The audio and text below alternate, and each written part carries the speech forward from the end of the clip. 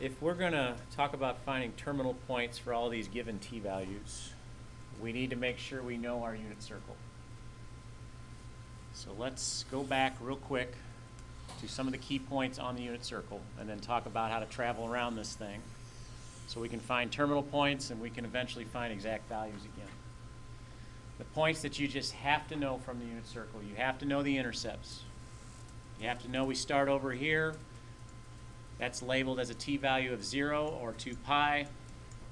Its terminal point is 1, 0. Opposite side, we have to know this is pi. Terminal point, negative 1, 0. Y-intercepts, we've got pi over 2, we know is 0, 1. We've got 3 pi over 2, we know that's 0, negative 1. So these are just the points that we've got to know. After you establish your intercepts, then we know everything pretty much as far as locating key values is concerned on the unit circle. Everything revolves around the uh, first quadrant. So if you look at the first quadrant, you've got three key values there. We've got pi over 6, you've got pi over 4, you've got pi over 3. As long as you can keep those straight, you'll be able to figure out terminal points in any other quadrant. So for pi over 6, our ordered pair for pi over 6, our terminal point there is root 3 over 2 and 1 half. For pi over 4, it's root 2 over 2 and root 2 over 2. And for pi over 3, it's 1 half, it's root 3 over 2. If I'm taking a test over this, maybe this is something I sketch out somewhere on my test so it's convenient to refer to. Right? Because this is all the key stuff. If you got this much down, it's just a matter of how you travel around the circle and what quadrant you're in. So we go back now to talk about terminal points. And we start with terminal points where uh, t equals negative 3 pi over 2. Since it's over 2, we know that that's going to be some sort of intercept point. If it's over 3, over 4, or 6, you know, then we're talking about those first quadrant values being of uh, use to us. But if it's over 2, it's going to be an intercept point. And since it's negative 3 pi over 2, remember that's where we start over here. Negative means we're going to travel clockwise. And if it's negative 3 over 2, I'm thinking negative 1 and 1 half if I divide that out. Starting at my point here, halfway around, that's going to be 1. Another half is going to take me up here to the top. So that's going to be that y-intercept, and at that y-intercept, that was the point 0, 1.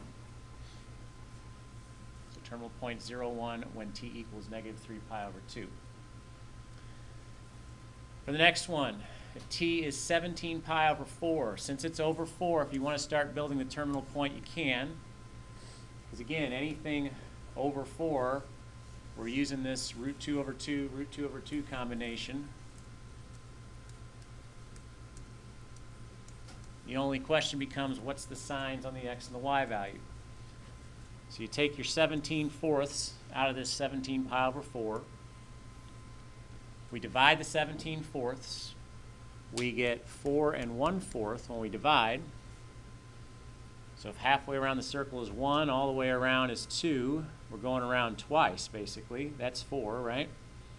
One-fourth is going to put you up here in the first quadrant. It's one-fourth the distance you got to travel to the other side. If you're in the first quadrant, everything's positive, so we've got our terminal point. Okay, the last t value, you've got negative 10 pi over 3, so if it's over 3, go back to your unit circle, look to see what's over 3. Well, let's see, what's over 3, you've got 1 half and root 3 over 2 as your ordered pair. So we fill those in to start building our, our terminal point.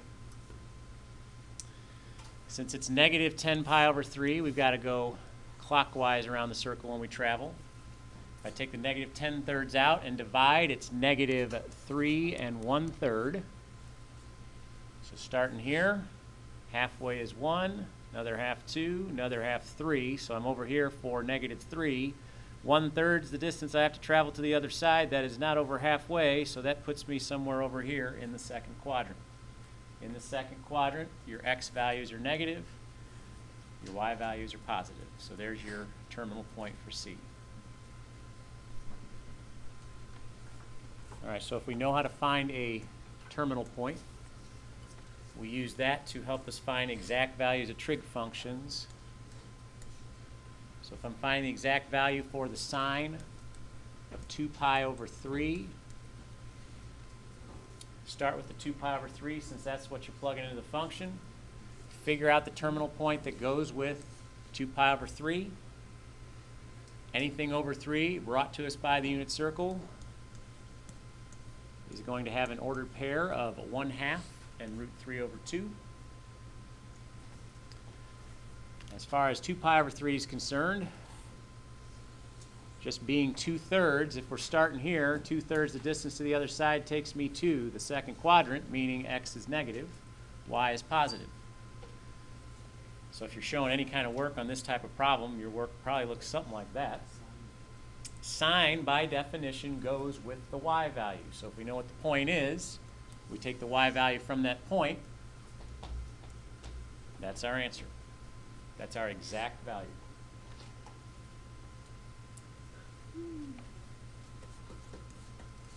The next one, we're finding cosine of 7 pi over 4. So once again, start with the value that you're plugging into the function. Start with 7 pi over 4, since it's over 4. Terminal point consists of values, root 2 over 2, root 2 over 2. 7 pi over 4. If you divide out 7 fourths, you get 1 and 3 fourths. So I start here, halfway around 1, 3 fourths the distance I got to travel to the other side, puts me over halfway, which is down here now in the fourth quadrant. Fourth quadrant, x is positive, y is negative. Cosine, by definition, goes with the x value. The x value at your terminal point. So our x value is root 2 over 2. That's our answer.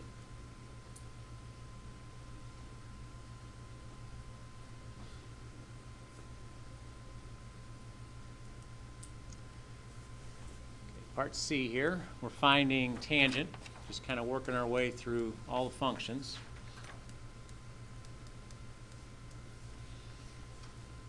So we look at the value being plugged in the tangent, negative 9 pi over 2. It's over 2, so that means we've got an intercept point. Um, for this one, go straight to my little mini unit circle. If I take 9 divided by 2, I get 4 and 1 half.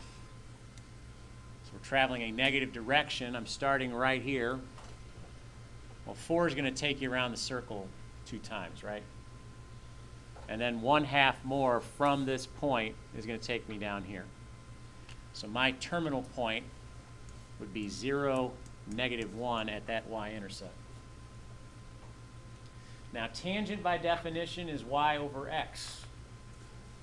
So I'm going to take my y, I'm going to divide by my x. And the answer I'm going to get is undefined. So yeah, for this one, this one don't work so well. The tangent of negative 9 pi over 2 simply does not exist.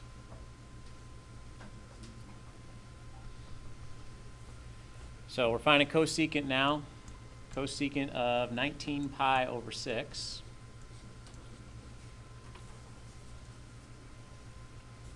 Right, one thing worth noting, guys, is when you're uh, taking these values, you're plugging in the function, especially as the values get bigger with the numbers we're dealing with, make sure everything is reduced for what you're plugging in. Okay, in this case, everything's reduced, but just something to be aware of. If it's over 6, as an ordered pair, something over 6, we'd have root 3 over 2, we'd have 1 half for starters. Figuring out where 19 pi over 6 is so we can get the signs right on our terminal point. Take 19 divided by 6, you get 3 and 1 sixth. So I'm starting here, there's one, there's two, there's three. One-sixth the distance to the other side puts you down here in quadrant number three. So everything is negative. For the cosecant, a few ways we can do the cosecant, but the preferred way, let's go with here. The preferred way would be knowing cosecant has a reciprocal of sine. Okay? Sine goes with y, so this would be the y, but cosecant's the reciprocal. So take the reciprocal, which would be just negative 2. The cosecant of 19 pi over 6 is negative 2.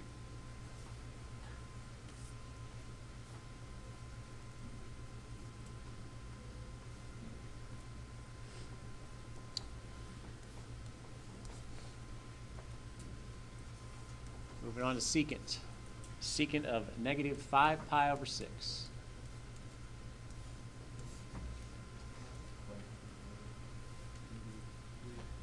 So something over 6, ordered pair, root 3 over 2 and 1 half. We're talking negative 5 sixths here. Got my starting point. Negative means go, it goes in a clockwise direction. 5 6 would be the distance I'm traveling to the other side. So it's not quite to the other side. It's pretty close. But basically, we're in quadrant 3. Both are negative values. To figure out the secant, recall that secant's reciprocal is cosine. Cosine goes with x. So take the reciprocal of x. Flip your x value, there you go. As far as leaving the root on the bottom, I'm fine with that.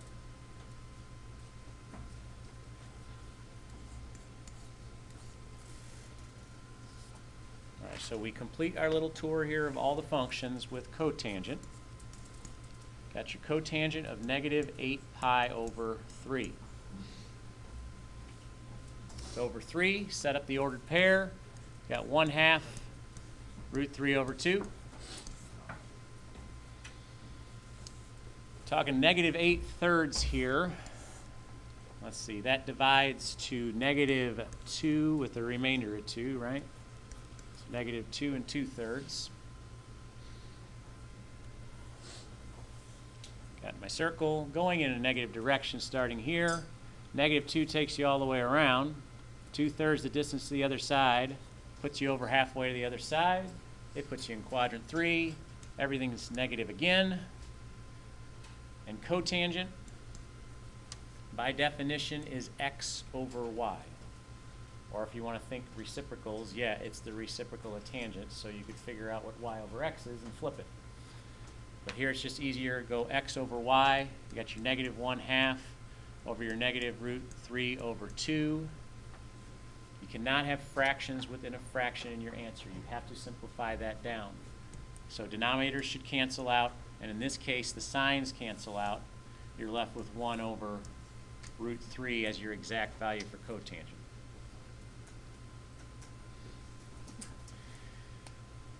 How do we find a reference number? Well, if we, uh, if we have a denominator present that we're awfully familiar with from the unit circle, for instance, these two, right? We know we got some values from the unit circle that we're playing with there. The reference numbers for those are just going to be pi over those denominators. It's that simple if you have denominators you are already familiar with from the unit circle. Now this 5, for this first one, we can't just conclude that it's going to be pi over 5.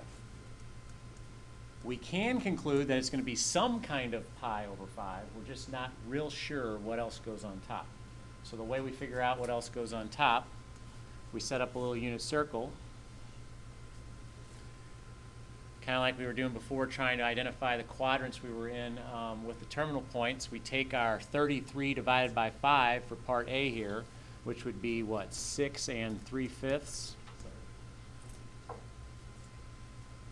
If I'm starting here and I'm going around six, that's gonna take me around the circle, what, three times? So I'm right back here.